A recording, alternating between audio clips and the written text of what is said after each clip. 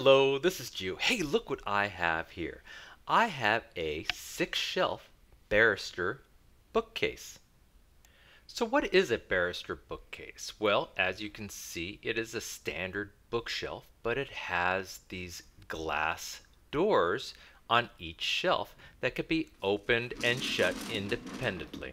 So traditionally, they help protect books from dust, but they can also be used as a great display case for collectibles.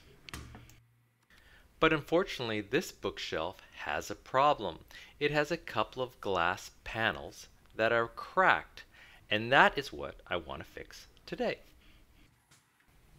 So typically, the doors are held in position by either metal or wood dowels on either side. So the first step is to remove those dowels.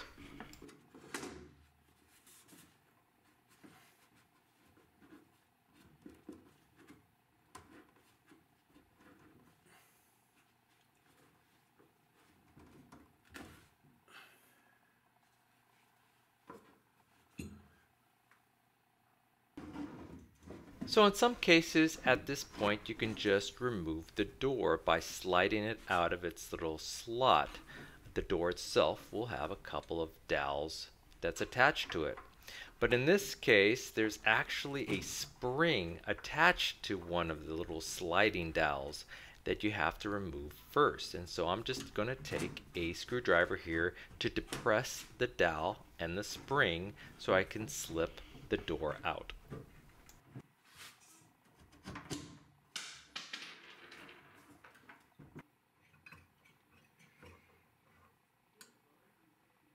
So with the door out of the case, we can start examining how the glass is attached to the frame.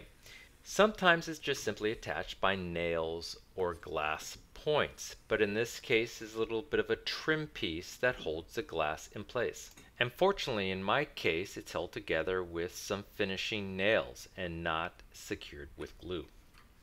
And therefore all I have to do is carefully pry out the trim pieces and then pull out the nails.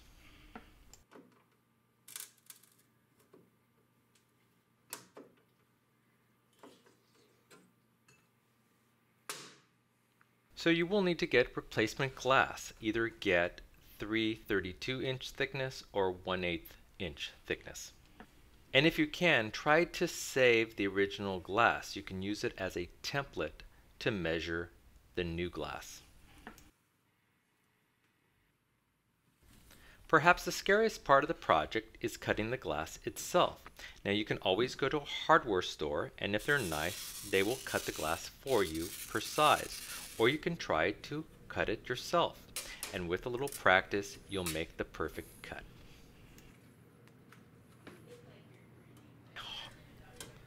So with the glass back in, I'm just going to take my standard Dremel to re-drill out the holes and then very carefully tap in the nails, making sure I don't hit the glass.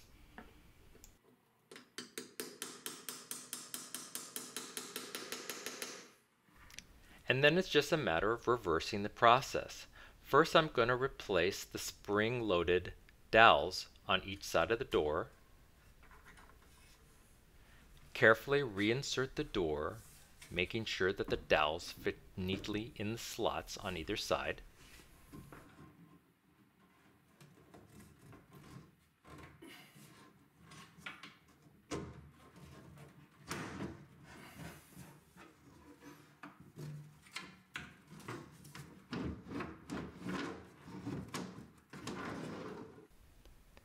and then replace the dowels that hold the door in place.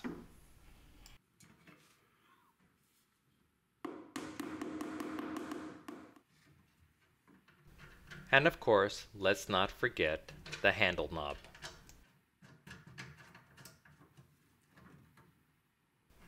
And there you go. Well, I hope you enjoyed this video, and if you did, please hit that like button at the bottom of the screen, and even consider subscribing to my channel. I have many more videos to come. Bye-bye.